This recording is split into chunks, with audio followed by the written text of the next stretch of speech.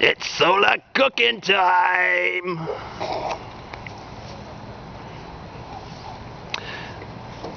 Here we are with a solar cooker. And it looks just so wonderful. We put it out about just before noon. It's about 2.30 now. And what do we have inside? We've got sausages. And them sausages is actually steaming. How hot is it in there? Let's find out.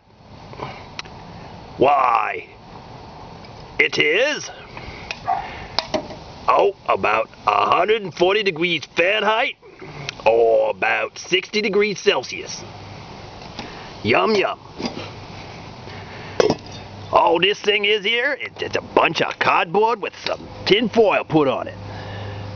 Real easy, and it's pretty hot, even considering the fact that it's a cloudy day.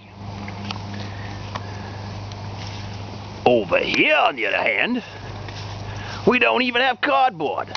It's just an old car sunshade. And what do we got in here? Fruit? What are you gonna eat fruit for?